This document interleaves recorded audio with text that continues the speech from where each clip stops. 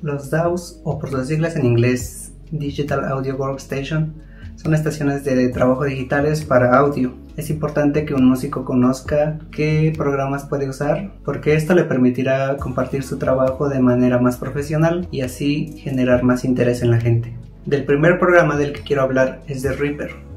Este programa es famoso porque a pesar de ser de pago, incluye una versión de prueba que no tiene costo y que es indefinida, Quiere decir que tú puedes probar el programa y si te gusta comprarlo, pero aún así, en su modo de prueba no tiene limitación alguna, todas sus funciones están disponibles pagas por ella o no. Lo que buscan los desarrolladores de este programa es que si a ti te gusta mucho los apoyes y de forma voluntaria. Este es el programa que recomiendo para los que van empezando en este ámbito, ya que no tiene costo. Sus ventajas es gratis y puedes pagar si tú quieres. Desventajas. Es poco intuitivo y puede ser un poco desafiante para los principiantes. Reaper no cuenta con una biblioteca de sonidos, aunque pagues por el programa completo, no cuenta con ella. Logic Pro. Este programa para mí es el más intuitivo, tiene una interfaz muy fácil de usar y amigable para los principiantes. Este programa tiene un costo, aunque a comparación de los demás es de los menos elevados. Cuenta con una biblioteca de sonidos completa, cuenta con una sola versión, no hay versiones Pro, Pro Plus, etc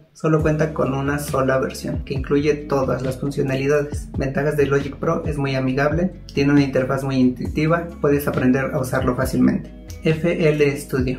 Este programa está enfocado para los productores de música electrónica. Para mí es de las más difíciles de usar si no sabes usar una estación de trabajo digital. Tiene un flujo de trabajo algo engorroso a mi parecer y hace que te confundas frecuentemente. Ventajas. Si quieres producir música electrónica, este es el programa por excelencia. Desventajas, para mí es el más caro y no te incluye todos los sonidos de su biblioteca a menos que pague por la versión más cara. Por último, Pro Tools. Como ventajas es que si tú trabajas con él y te acostumbras a él, el día que llegues a un estudio profesional no te costará trabajo adaptarte, ya que en la mayoría de estudios profesionales usan este programa. Desventajas, es muy caro y no admite instrumentos virtuales de terceros. Ahora que ya tienes algunas opciones de estaciones de trabajo digitales, es hora de que comiences a trabajar. Recuerda, lo importante no es con qué estación trabajes, sino que tengas la creatividad suficiente y la motivación. Recuerda que el límite te lo pones tú.